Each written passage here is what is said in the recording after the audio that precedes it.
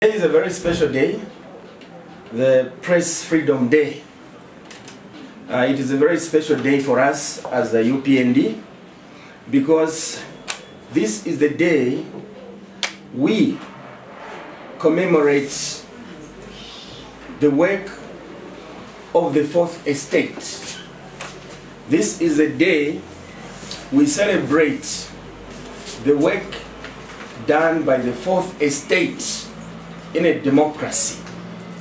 And as people would uh, understand, what that means is that uh, for a democracy to function, there are three arms of government that operate separate from each other, save for permissive overlap.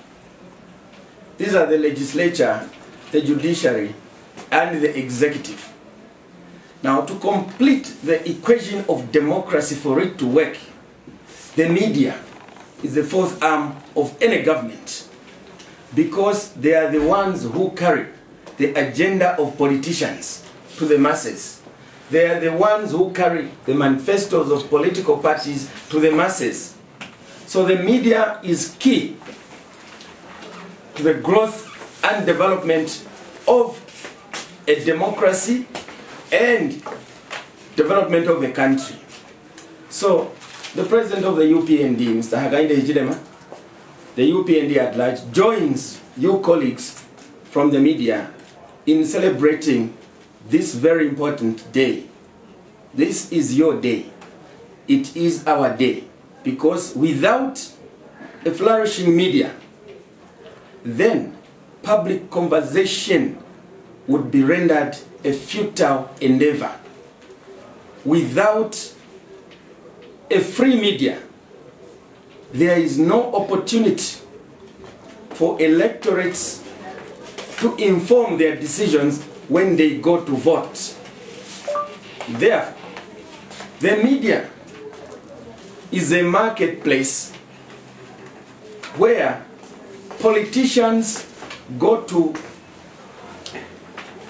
trade their manifestos, their ideas, seeking public acceptance so that as people go to vote, they are voting on an informed basis.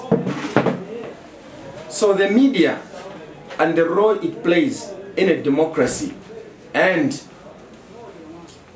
in the development of a country is crucial. So today as UPND, we are calling upon the Patriotic Front that as we head towards the elections in the next uh, few months, please free the media. Free the media because we want Zambia to be better again. This election of August 12, 2021 is about making Zambia better again. And the starting point is the safety and security of media personnel.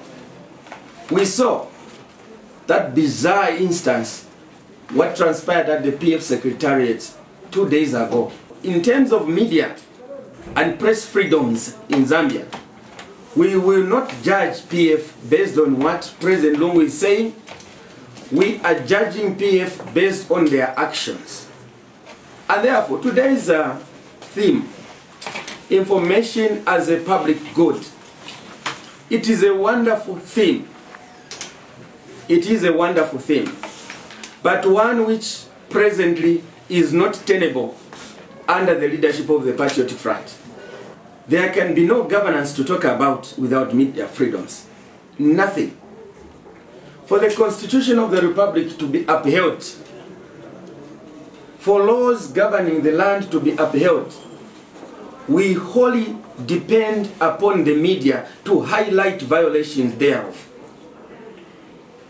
And so, on a day like, to, like today, as we commemorate this day, we look back in the five years of Patriotic Front with a sense of anxiety, which is supposed to ensure that media houses enjoy their special autonomy, has now been used by PF to arm twist media houses. They are on the lookout for faults, not for help. It is the intention of the UPND to come and free the media space in Zambia. And on this score, we reiterate the call of many Zambians for the access to information bill to be taken to parliament and be enacted into law. The access to information bill, when it is enacted into law, will make the work of journalists easier.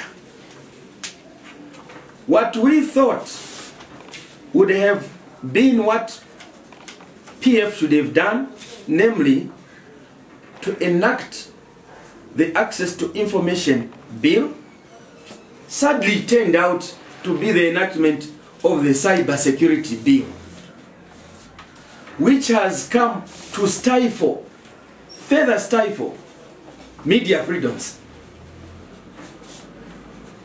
All for the sake of PF wanting to cling on to power at all cost when they know they've fallen out of favor of the majority of Zambians except those who are benefiting from the corruption of Patriotic Front, from the maladministration and violations of the law. They are the only ones who talk the loudest. Check them on social media. Check them on radio stations. When there is a program, those who call, they even buy them talk time. They are the beneficiaries.